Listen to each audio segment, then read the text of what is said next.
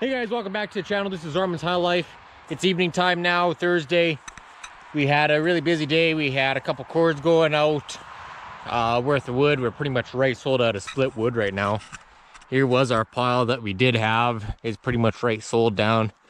We got a couple just broken chunks and just our bunch of kindling we got to deal with. We still got that one pile from last time. We still have to split that up. And we still got our little mountain of our shorter chunks that we haul in with the truck. We could roughly have about, I'm gonna say about six, maybe seven cords there worth of wood. Maybe. Six for sure though. But uh, today we're gonna be doing a different uh, video. We've been uh, getting a lot of views on our one unboxing on our Honda motor. So today we're gonna do a bit of a review on it. We were gonna do a video on a putting on our one piece here onto our conveyor. I thought it just mounted up right onto here, but apparently it don't. So we gotta take this whole black piece out and uh, remove that. We got all the bolts out except this one. Just uh, the Allen key on the other side is right stripped out, so we're gonna have to cut that guy off. We were gonna do that this evening, but we went back to the shed there and we noticed that we don't have any cutoff wheels. So we're gonna have to go to town tomorrow, pick some up for that. But we're gonna get that on eventually here. Well, we can't really do much more business without it on. So we gotta get that done tomorrow for sure. But we're gonna get on to our review here. We got the Honda GX390. It's a 13 I think 13 and a half horsepower motor. We've had it for five months now and it's works really good. It's never uh, gave us any troubles in the morning time or whatnot. We have only ran it through the summer here so far. Our coldest morning has probably been uh, plus five uh, Celsius.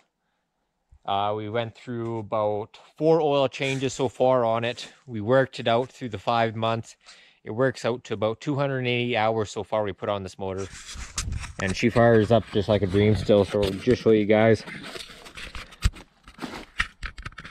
Get you set up here. Get you put on the jerry can. Alright. So still original setup. Just put it on.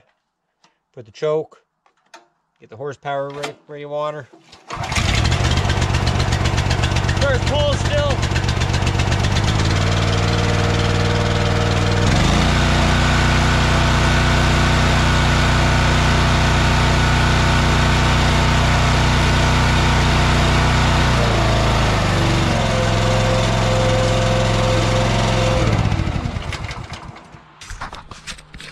As you guys can see, it's first pull. We haven't ran it all day. Well, we did run it a little bit this morning, but that was at least 10 hours ago roughly.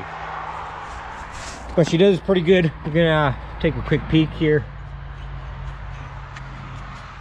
At our one filter. See how dusty it gets in there. It's not too bad. Here's our filter. As you guys can see she does collect a bit of dust but inside it's still pretty clean. So it's got a good filter. Not too much stuff in there. We're gonna have to definitely get that cleaned out though I have not touched that one so far. So that's actually the first time I've gone in there. Went wrong way.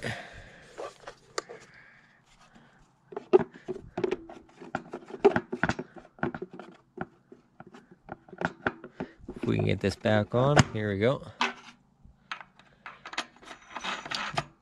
So that's pretty sealed up there right there. And she does get really dusty as you guys can see how dirty the motor is. Sometimes this thing gets pretty coated up with the sawdust. We try to keep it away from the motor as much as possible, but nothing. Our one our one uh, chunk of rubber is still holding up. All of our bolts are holding on there nicely. The last motor that we did have on here, they only had uh, these little rubber spacers to just go underneath each side, which they, uh, after the machine's vibrating so much, they just fall off. Maybe it's the motor doesn't vibrate as much, but these ones are holding on so far nicely. We put through quite a few cords with it. I'm not even, I'm not even too sure how many. There's been quite a few that have gone through here so far. But it's an awesome motor so far at five months. We've had her. We'll probably be doing another uh, review on it once we hit probably a year. Keep you guys updated. But we're going to probably wrap that up for today's video.